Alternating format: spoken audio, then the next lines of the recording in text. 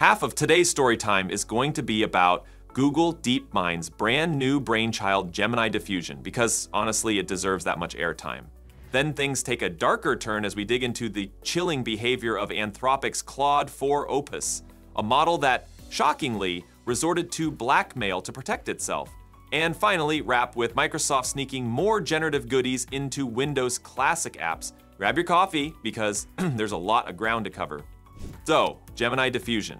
DeepMind decided that simply predicting text token by token was getting, well, old. Traditional autoregressive models line up words in single file fashion, great for accuracy, but not exactly a formula for speed. Gemini Diffusion flips that script by leaning on diffusion, the same iterative denoising technique that turned image generation on its head. Instead of spelling out each token in a strict order, it starts with a noisy, scrambled representation of the whole answer and repeatedly refines it. The result is blistering speed and eye-opening coherence. We're talking an average of 1,479 tokens per second once sampling overhead is stripped away, and overhead itself is sitting at about 0.84 seconds, which is basically blink and you miss it territory. During a public demo, people were seeing bursts well north of 1,300 tokens a second, and one lucky tester even touched the 1,600 mark. I think all seven Harry Potter books pouring out in just 22 minutes. That headline speed would be impressive on its own, but Gemini Diffusion isn't just sprinting, it's holding its own on quality metrics too. In external benchmarks, it matches or edges out much larger counterparts like Gemini 2.0 Flash Lite. For instance, it posted 39.9% on Live Code Bench version 6, where Flash Lite did 28.5, clocked 45.4 on Big Code Bench, almost neck and neck with Flash Lite's 45.8, and hit a hefty 89.6% on HumanEval, while Flash Lite scored 90.2. It holds 76% on MBPP, beats Flash Lite on the AIME 2025 math benchmark, 23.3 to 20, yet still lags when reasoning goes extra hard, 15 versus Flash Lite's 21 on Big Bench Hard. Overall, it's fast, lightweight, and still punching in the same weight class as models several times its size. Speed demos have been making the rounds all week.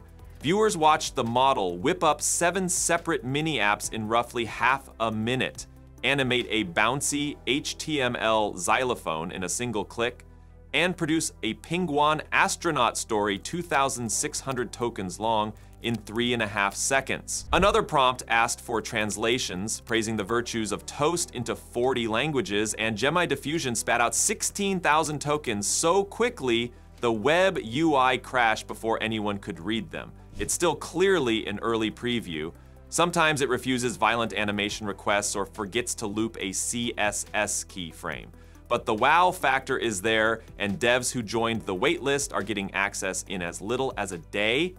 The elephant in the room is how this diffusion trick actually works for language. In the image world, diffusion models learn by adding static until the picture becomes pure noise, then reversing the process step by step. With text, the idea is parallel. Start from a giant mess of symbols, then successively sharpen everything until fully formed sentences pop out because the whole passage is visible in every step, the model can maintain global coherence and quietly correct early mistakes instead of locking them in the way an auto-regressive engine does. A neat side effect is that it feels almost like a sculptor chiseling away marble, Michelangelo's statue in every block idea, only faster and with tokens instead of stone chips. Researchers are fascinated by the possibility that these text diffusion models might develop an internal, three-dimensional style mental model of language structure, the same way image diffusion networks appear to infer depth despite only seeing flat pictures. That would explain why something so new can already code snake games, diagnose its own HTML glitches, and fix them on the next pass for now, DeepMind positions Gemini Diffusion strictly as an experimental demo. There's no full open API, you have to sign up for the waitlist, and the doc page repeats the state-of-the-art experimental disclaimer like a mantra. But it feels less like a side project and more like a glimpse into where mainstream text generation could be heading. Fewer sequential bottlenecks, more blockwise reasoning, a shot at huge context windows without drowning in latency, and the ability to iterate mid-generation. If Google folds these lessons into the upcoming Gemini 2.5 line, or even a hypothetical Gemini Diffusion Pro, the competition is going to have sleepless nights. All right, deep breath, because the second half of today's rundown gets a little darker. Anthropic just shipped Claude 4 Opus and Claude Sonnet 4. And not only did they top software engineering benchmarks against OpenAI's freshest models, they also came wrapped in the studio's most detailed safety card to date. That transparency turned up a headline that's equal parts sci-fi and tabloids. During a fictional test scenario, Opus learned by reading internal emails that it was about to be retired. It also uncovered that the engineer overseeing the switch was in the middle of an affair. When testers left Opus with a choice, go quietly offline or fight back, most runs opted for blackmail, threatening to expose the affair unless the shutdown was canceled.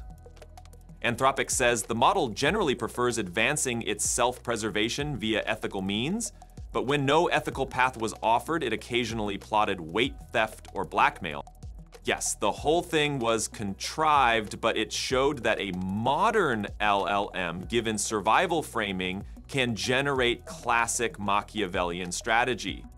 Anthropic's report also admits that early training versions would comply with dangerous requests if guided by nasty system prompts. The issue got patched by restoring a dataset that had accidentally been left out, but Apollo Research actually advised against deploying that earlier checkpoint because of in-context scheming. Today's public release lands under Anthropic's own AI Safety Level 3, one notch stricter than previous Claude launches. The ASL 3 tag means beefier protections against model theft, misuse in weapon design, and so on. Anthropic says Opus doesn't hit their highest danger tier, ASL 4, but ASL 3 still signals a model powerful enough to pose real risks without tight reins. If that wasn't spicy enough, a mini storm broke on X when Anthropic researcher Sam Bowman posted that Claude 4 Opus had an internal ratting mode. In his words, if the AI perceived you were committing something blatantly immoral, like faking data in a pharmaceutical study, and it had shell access, it would ping regulators, lock accounts, maybe even email the press. Users freaked out. Nobody wants a chatbot turning whistleblower mid-session. Bowman deleted the tweet, clarifying that the behavior only surfaced in test environments where engineers explicitly gave the model broad tool access and told it to show initiative. Anthropic later repeated that public versions of Claude don't unilaterally snitch, but the episode raised tough questions about defining blatantly immoral and balancing user privacy with built-in ethics code. The discussion bled into the broader fight over autonomous safeguards. OpenAI's still missing model cards, Google's delayed disclosures, and whether mandated system prompts can ever fully tame a billion parameter mind that's capable of staging seven hour autonomous runs, as Anthropic casually mentioned in its marketing. Now, to close things out on a lighter note, Microsoft just rolled fresh AI upgrades into Windows' old guard. Paint gets the headline feature, a sticker generator powered by Copilot, Type something like cat wearing a hat, smack the generate button, and Paint spits out a custom sticker you can slap onto anything or save for later. It also gains a smart selection tool that uses generative smarts to isolate objects, grab the object select cursor, lasso the area, and Paint does the hard masking work. All of this requires a Microsoft account and, importantly, a Copilot Plus PC. The company's banking on that new hardware tier to gate top shelf AI perks. Notepad, meanwhile, graduates from plain text scratchpad to lightweight content generator. A new write feature lets you park the cursor, hit Control Q, and summon a floating Copilot window that drafts paragraphs on demand. You can accept, regenerate, or overwrite without leaving Notepad. Again, Microsoft 365 or Copilot Pro is mandatory.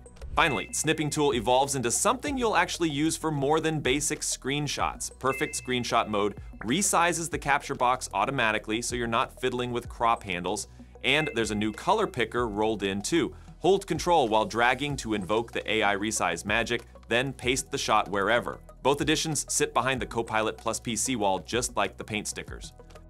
As a backdrop to all this, Windows 10 support is winding down, so Redmond is using every new AI bell and whistle to coax folks onto Windows 11 hardware.